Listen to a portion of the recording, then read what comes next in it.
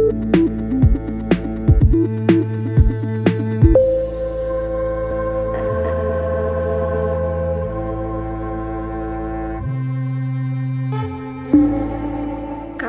Hmm? nikah yuk. Eh?